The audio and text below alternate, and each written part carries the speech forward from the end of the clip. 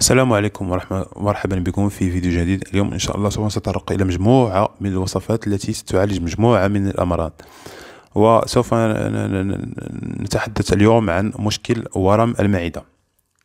بالنسبة لعلاج ورم المعدة فينصح بشرب العسل فهو يفيد جيدا في ورم المعدة إذا واظب المصاب على ذلك. بالنسبة لعلاج مشكل قرحة المعدة فتؤخذ متساوية من الزعتر والقريص وتطبخ وتشرب على ثلاث دفعات في اليوم وقت الصبح والظهر والعشاء ولا بد من المواظبة على ذلك. بالنسبة لعلاج مشكلة قرحة المعدة والأمعاء. فيبلع الثوم دون مضغه ثم يعقبه شرب كوب من الماء ويستمر على ذلك مدة مدة مدة الشفاء.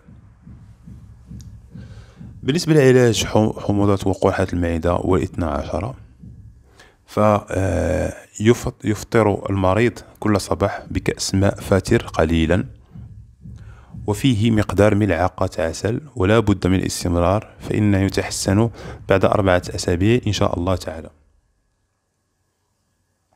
بالنسبة لطرد الغازات ينصح بالمواظبة على أكل السلق فهو يفيد في منع غازات البطن ووصفة أخرى لعلاج لطرد آه، الغازات من البطن. ويشرب يشرب بمقدار نصف نصف كأس من الكروية المطبوخة في الماء ويواظب على ذلك المصاب بغازات الأمعاء فيشفي بإذن الله.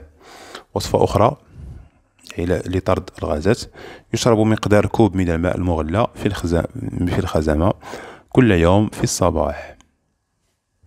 بالنسبة لعلاج التهاب الأمعاء يغلى التفاح بقشور بقشورة مع جزء من العرق السوس لمدة عشر دقائق فإنه مفيد جدا في التهاب الأمعاء.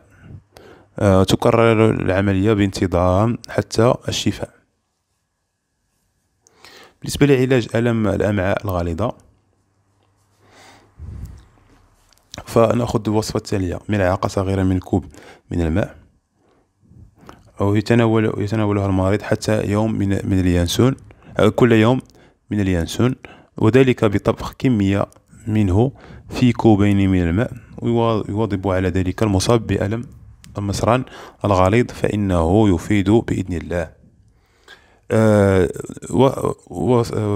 مشكل علاج مشكل دود البطن علاج مشكل دود البطن. إذا شرب الشيح مقدار نصف ملعقة كبيرة مطبوخة في كأس ماء كل يوم صباح من من به من به دود البطن إذا سيزال بإذن الله تعالى. بالنسبة لوصفة أخرى